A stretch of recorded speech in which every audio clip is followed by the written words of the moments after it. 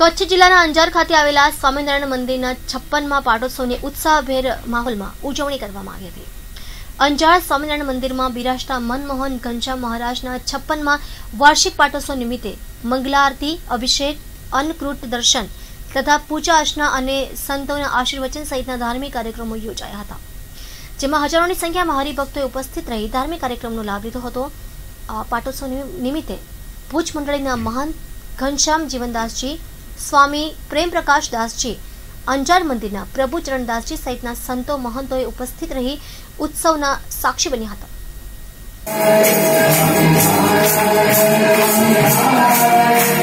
હતા